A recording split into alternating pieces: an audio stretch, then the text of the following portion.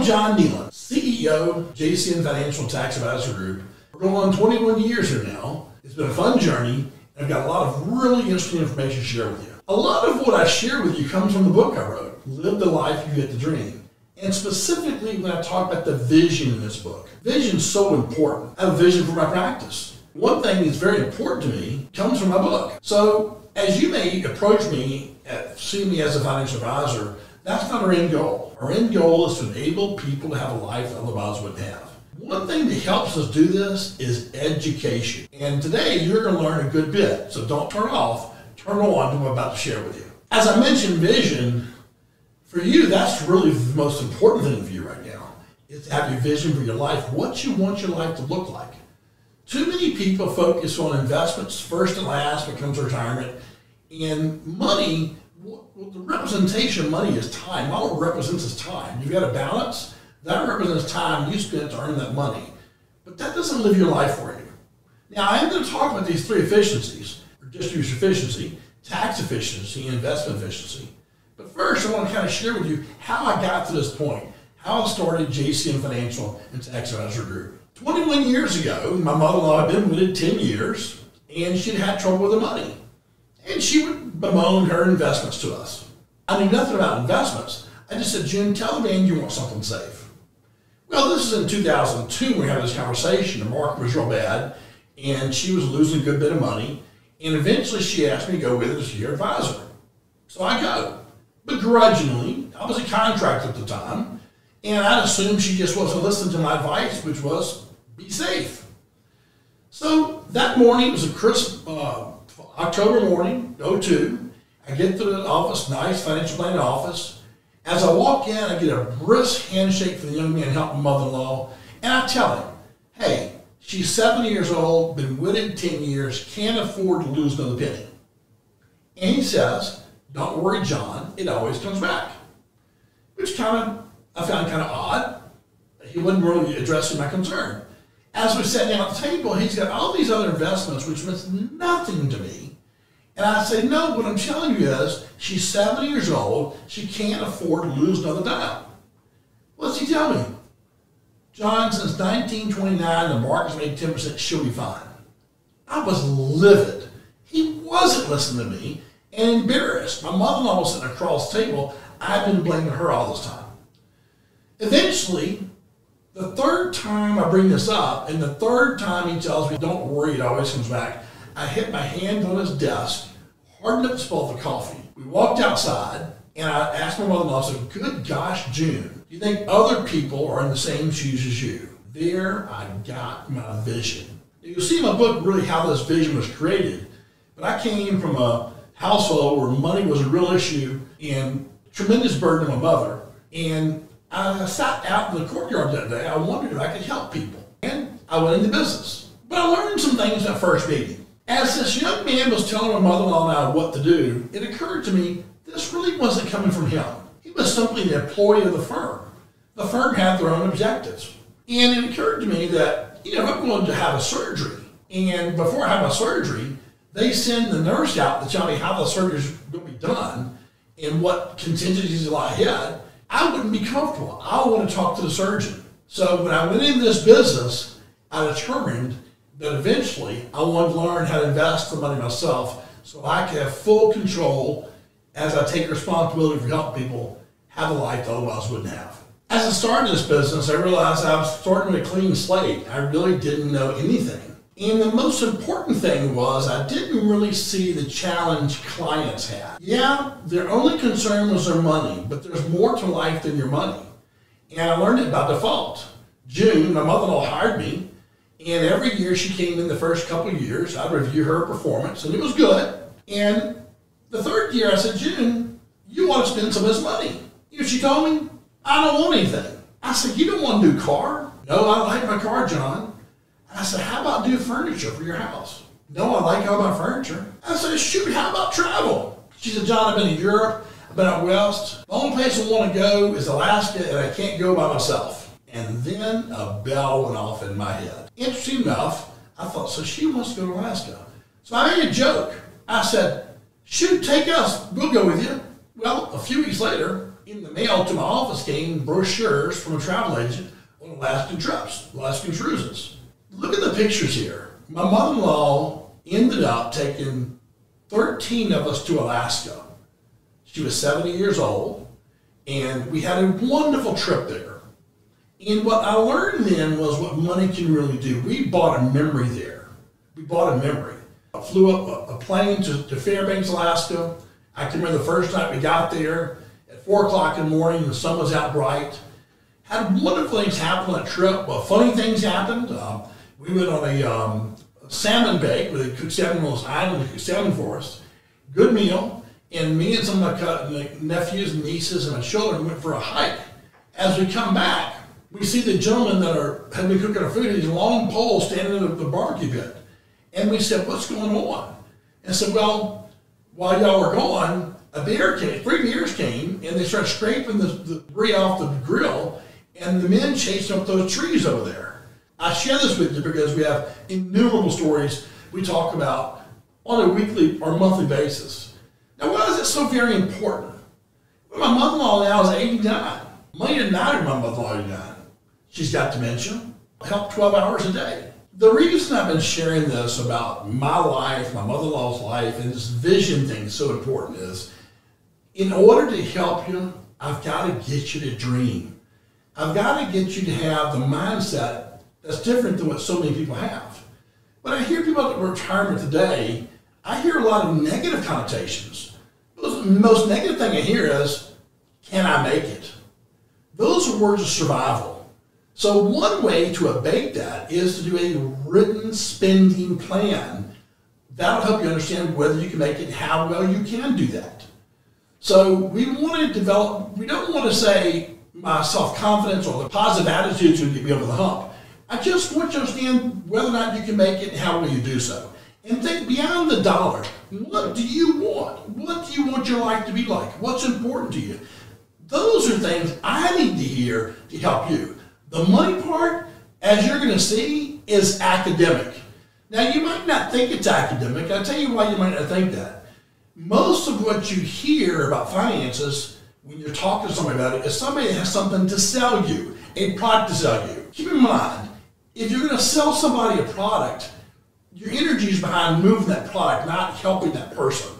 So I'm going to share with you these three efficiencies. I think can be relatively academic. When I finish, you have the ability to click on for a consultation, which I will do the plan. And I'm not exaggerating I tell you this. This plan is a $1,500 value.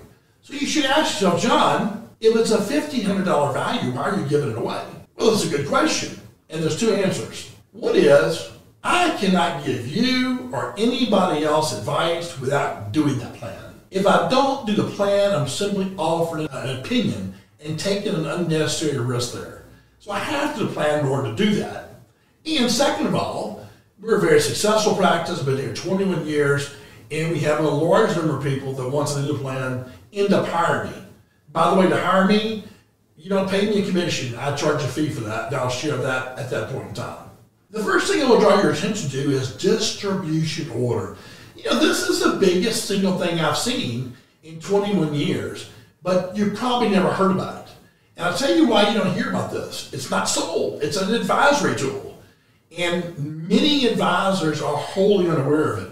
So after you watch this video and you understand distribution planning, something should click in your head. And you should ask yourself, what else can I do that I'm not doing that's absent risk? Let's get started. Okay, buckle up, ready to get started? I learned this program about 18 years ago from a gentleman that's now deceased, Bob Ritter. He owned a company called Insmark, and they did a lot of, um, they sold financial planning tools for high net worth clients. And they're very tax centric. But I learned this distribution order uh, when I went to a, a symposium in Las Vegas in 04. And from there, I went and met Bob. I learned how important distribution order is and we've made that a part of our practice now going on 18 years. Let's take a peek at how this affects people. So you start off with uh, this is a, a, hypothetical client, and we're showing what their net worth is, their assets. They've got $110,000 in cash. That $700,000 in tax exempt is Roth money they already have. The good point about that is when do you spend the Roth? You may have an opinion. Most people do have an opinion, and oftentimes their opinion is just an opinion. There's no basis behind it. So we're going to show you in this case when Roth would have been spent. The equity assets are brokerage assets, and then they have uh, $4 million total in retirement accounts for a $7.8 million net worth. Now, I'm also going to show you later with a, a, good bit less money where it still works for them. So you don't have to have eight, $10 million for this to be effective. Notice down here, it tells us the liquidation order, fund this retirement is checking account first, cash second, fixed income first, spouse's IRA retirement plan third, the Roth IRA fourth of the fixed income. You have fixed income and growth on, on all accounts growth account, retirement plan assets, and Roth growth. So the first thing we need to know when we do your plan is how much money is required to live your life. And so it's very important not to underestimate this and to include enough to give you um, the life you want to have. In this case, this client wants uh, $280,000 a year. So you notice the amount goes up year by year. The reason for that is we're allowing for inflation. So it's not going to buy him any more debt, uh, uh, 365 in 10 years that he'll maintain his purchasing value. Now, the next thing we want to ask is what is your expected cash flow coming in? This could be Social Security, it could be pension, it could be royalties, any number of things could be expected cash flow. In this case, all we have is uh, Social Security, which is 43868 And then now we want to, as we put all these assets together, remember on the first page here, I have the most efficient order right here. So we call that good logic. Logically, math wise, that's the most efficient order. So for bad logic, all I'm doing is I'm saying if you took the absolute worst distribution order, that's the bad logic. Investments are identical. So let's go to logic here, and you see that by age 95, there's two drastically different balances in this man's account, this couple's account. Uh, 41,582,781 are 12,837,698. That's a gargantuan difference. It's not a mistake. But you know that the truth is, if this gentleman doesn't know any better, at 95, he might have $12 million and feel like he did very, very well. And this is simply a matter of not taking money out in the right order. To give you an example of how this happens to the in today's world, if you have an account, money account at a brokerage firm, and you say, I want $100,000 a year for cash, have they ever asked you what you want to sell in order to generate that cash? Or have they ever told you what they're going to sell to get that cash? And in all likelihood, you never heard either either party's given an indication of that. So typically, what happens in most brokerage firms, they do a pro rata distribution. They take a little bit out of everything. That works for the firm because they're big firms with clients all over the globe. And as you call in or write in for cash, they're not going to do a separate calculation. And it works for them to you, it works to one extent. You get the cash flow you need, but you can see that if it's not in the right order, this is the biggest single mistake I see most people make. Have an article, is your IRA an IOU for the IRS? Well, if you kind of look at the way the IRA is um, designed, the 401k, it's designed for you to put away money and defer the tax and compound the tax throughout your lifetime and your retirement. And then you're forced to take it out. Now, when you're forced to take money out of this retirement account, uh, money through what's called the RMD, after you pay tax on it, you're not allowed to put that into a Roth. So there is a transfer cost at death. So there's the IRD tax on an IRA or 401k at death. And I'll show you what this looks like. This couple here, the life expectancy is 90. So you'll see, initially they had $4 million they invested at the end of the year is 4.28. They had $4 million invested, and the tax due was 1.498, about a million and a half. By 90, the tax due is $4,075,000. So the, what they had in the initial retirement, all that goes to IRS. And in this case, a lot of this is unnecessary. Now, they may not know it's unnecessary, but that doesn't mean it's not unnecessary. So what we're trying to include in the first of three efficiencies is distribution order is critical. This isn't a button you push one time. Every time you take money out, you want to use calculations. So now let's turn our attention to um, another inefficiency, a tax inefficiency. Okay, now we're going to dive into something else I've got a lot of experience, expertise on. I've been interviewed in publications across the country, uh, most notably the Wall Street Journal on this topic, which is Roth IRA conversions. I find uh, a lot of the public is aware that the Roth tax-free investment or tax-free account, and that they feel like it may be some benefit to them. But most people are doing this with a blindfold on. They're just taking a wild stabbing guess at it. They're going to convert to maybe their current tax bracket or some other methodology. And the truth of the matter is, as you're about to see, there's a good, better, and best way to convert to Roth if you need to or should. If you've got a large IRA, a million dollars or more, I don't think I've ever done analysis where it didn't help them. So we're going to dive into a case here and show you just the ins and outs of Roth. I'm going to show you what your tax return looks like uh, when you retire and you, once you have to take your RMD, how much of a change it makes on your tax return at that point in time. So I'm not going to go too detailed on this. Um, I think you'll be able to follow most everything I'm, I'm going to share. Anything I don't answer right now, when I do the complimentary consultation, I'll be sure to answer questions. Let's dig right in.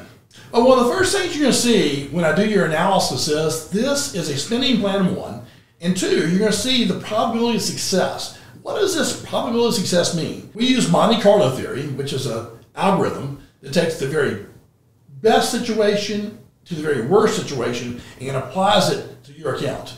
So if you can, if you have a hundred percent success rate given the worst set of circumstances, you're solid. Now, one way that's a little misleading is you don't have to have 100% to be considered successful. It's 70% is considered a successful plan. This couple here are the Kellermans. They've got the total net worth of $1.2 million. Um, you'll see they've got 400000 that is real estate.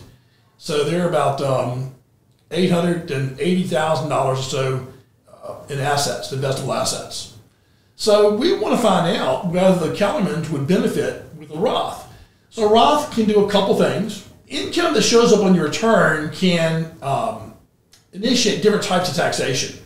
If you make too much money during retirement, you'll pay a higher Medicare premium. That's essentially a tax. These RMDs that occur in the 70s can push you over the ledge and make you pay more tax. They can also attribute to your Social Security being taxed at a higher rate. So the Roth is also unique in that it's not it's not accounted for any other way if you do a tax-free muni bond, it, the federal tax is, is doing that, but the state tax is still taxable. So with the Roth IRA, there's no federal tax, no state tax, and initiates no other taxes. So the first thing we're going to do with the Kellermans, the same thing I'm going to do in your case, is go to the tax tab here. Look at a couple options here, and we do a, a couple different things with this plan. One is going to be the tax planning. The other is going to be what account it comes out of, not the stock or bond issue, whether it's a tax deferred, a tax or a tax free account. And we're going to toggle here this fill the bracket here. So we're going to convert to a certain bracket. So initially, we're going to look at the count. So we're going to compare doing Roth conversion different brackets. Uh, right now, I have no Roth conversion taking place. So I'm going to go change this. I'm going to move a 50, 10% bracket. And for this couple, the Kellermans, if they do convert to the 10% bracket, they've got $1.2 million more net worth left over. If they convert to the 12% bracket, they've got $5.6 million left over. If they convert the 22% bracket, it's 6.7. The 24 is 5.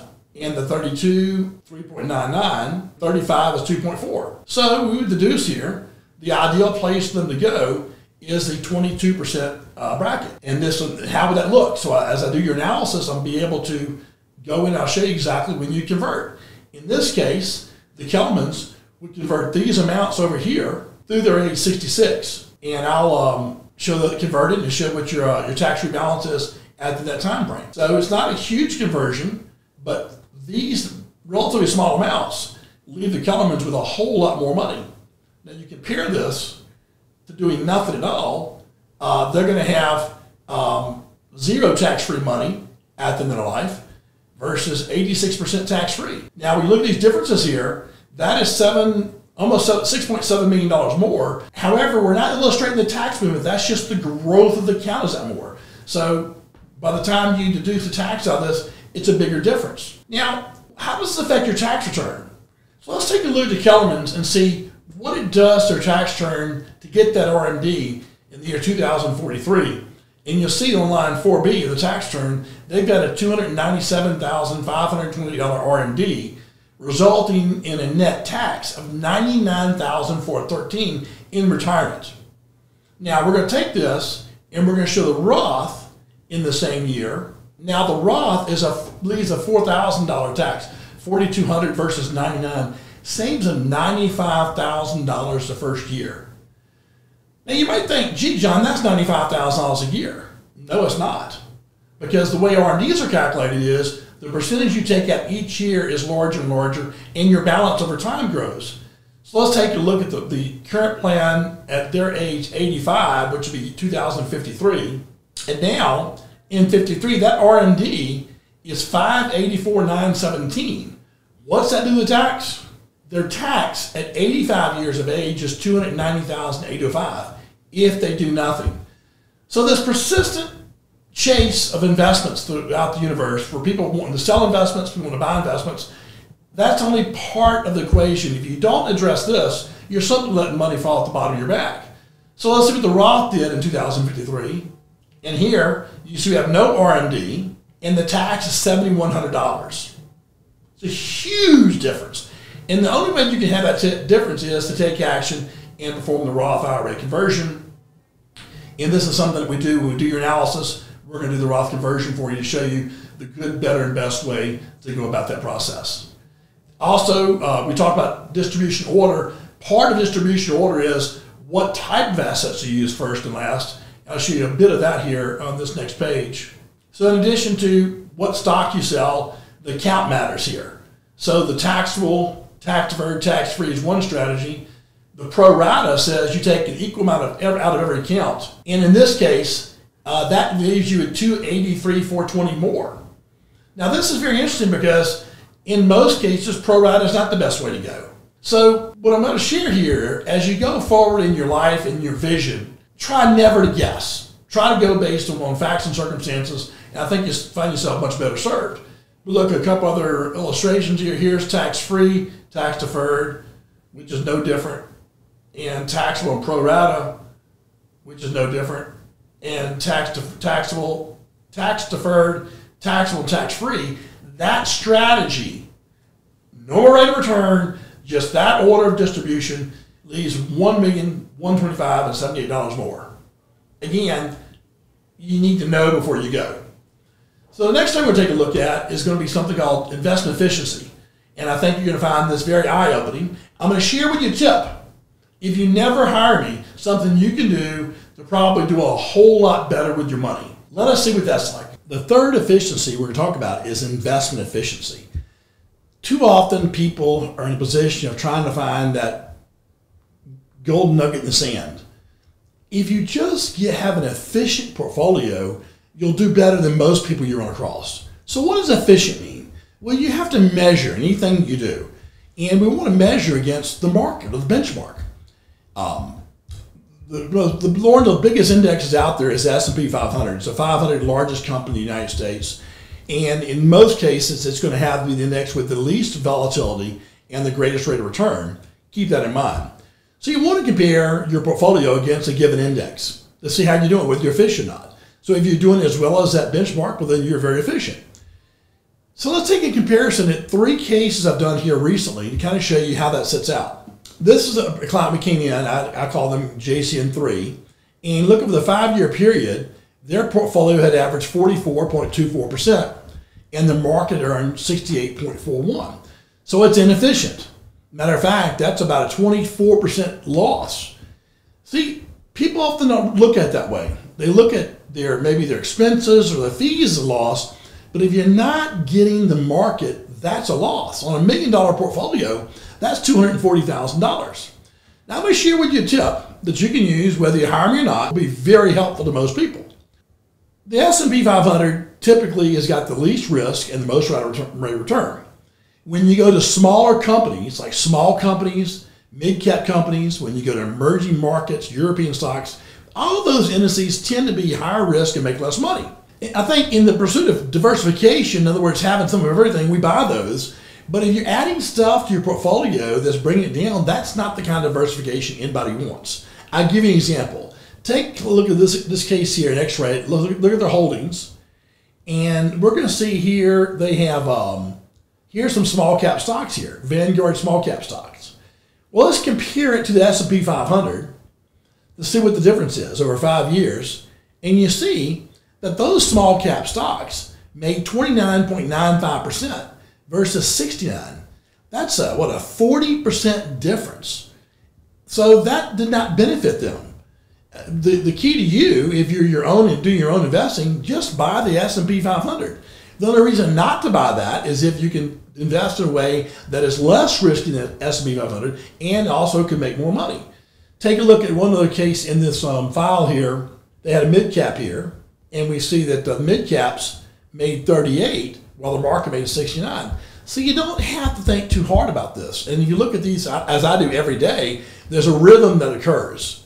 You'll see this uh, pretty common. So that's the, that's the, um, one case there. I'll take another case and show you most people that I do the analysis for, they're not efficient because they're, they're used to buying mutual funds in their 401k. Quite frankly, about 70 80% of mutual funds don't do as well as that benchmark does. Here's another case. Um, this case here, the market made 68 and they made 39. So that's a 29% loss they had. Of course, they never knew they had a loss. They, they figured they made 38%. And again, we're going to x-ray this again, and we're going to look at what holdings they have. Here again is a uh, variety of holdings they've got. Here's an emerging market stock they have. Let's see how that did for them. Compare that against the S&P 500. And in this case, the Vanguard FTSE emerging markets made lost 0.10 and the benchmark made 54. So that's just a huge, huge difference. And again, if you're doing your own investing, you'll probably do better to do just an S&P 500 index fund, which is something that I've heard Warren Buffett, or read Warren Buffett uh, makes the same recommendation. I just want to show you there's a rhythm. This is not, not these cases aren't ex, um, exceptions. We see them all the time. In this case, the client made about 42%, and the market made 36. That's about a 7% difference, but there's more. Let's take a look. Here's the Vanguard Extended Markets. You see the extended markets again, a smaller category, not the S&P 500. Uh, they made um, 29%, and the market made 69%. So you see, that's a 40% difference. It's a whole lot of money to give up and they probably unknowingly gave it up. They just want to have a little bit everywhere. But if you're investing in the wrong asset at the wrong time, it's a big cost to you. When you have your analysis done, I'll do the three three analysis: investment, tax, and distribution efficiency. And these three things all combined, if we can save a little money or a lot of money on these these things individually, it really makes a big ball of uh, snow going down the hill. So people don't make mistakes on purpose; they make mistakes because they don't know any better. I want to segue now to really why we do this. What's what, what's the true value in having an efficient portfolio and knowing knowing what you can afford to spend. So, why do we do all this analysis? What's the purpose? The purpose is to allow you to have a vision. You know, the most common thing that I hear from people when they call me is, John, I wonder if I can make it. Stop and think about that. That's looking at things from the small end of the telescope, isn't it? We want our clients, our friends, to have a vision. I'll share with you some of the visions we've helped create in what it looks like in their lives. client Bill and Mary came in a couple years ago and their concern was, do we have enough money to retire? And we did the analysis, did the plan, worked with them for a number of months. And then lo and behold, one day they come into office and said, John, look we've done. They bought an RV and they're traveling all across the country. They went up north. And to put a, a cherry on top, their children live in North Carolina, their son does. And in North Carolina, they built on their property, the child's property, they built a separate apartment. So when they go to visit, they don't feel like they're imposing on disturbing their children. That's a vision right there. So the next case I'll share with you about is a client named Phil. He had had a very large IRA and was concerned about the taxes that were embedded in that. So I did some analysis and I said, hey, by the way, if you convert it over this many years and pay this much in taxes, it'll be Roth tax-free IRAs. So lo and behold, he does it. Well, he does the first one. He complains about the taxes. I expect that. But you know, the second, third year, still complaining about paying the tax. So it bothered me. I said, look, you don't have these Roths. Just, just stay where you are. You won't pay the taxes. But if you pay the taxes, you'll have a big benefit. Well, Phil's engineer and not terribly sharing with his personal thoughts. So I wasn't really ever quite sure how really satisfied he was until about seven years ago, maybe eight years ago. We had an event here at the office, and I happened to overhear him talking to one of his former coworkers. And he was sharing how happy he was that now he pays zero income tax on his IRAs. They're all Roth. And in doing that, he's uh, made his, his, Social Security tax free and he pays the lowest Medicare premiums possible. That's success story. Not too long ago, just this year, a new client contacted me, by the way, through a Facebook advertisement. And um, we did the financial planning for him. He had um, been working for many years with a, a, good plan to try to save enough money to be retired in the fashion he wanted to be retired. And um, so I did all the planning, and things were just kind of going normal for a new relationship. And out of the blue, he sends me pictures that you're looking at right here. He said, Johnny goes, I bought a summer home about two hours from our house in Massachusetts. And he showed me all these pictures, how much he enjoyed it, how they plan to use it. And he added this John, had I not met you, I wouldn't be doing this now. That is true success to me. And the last thing I share what my vision is in my book, Live the Life You Have to Dream, I talk about the importance of helping other people. And there's a Circle K grocery store or gas station near my office. I happened to meet a lady there that worked there that uh, didn't have a car. And it really bothered me that she was having to get people to give her rides, not just to work, but to the grocery store, the drugstore, etc.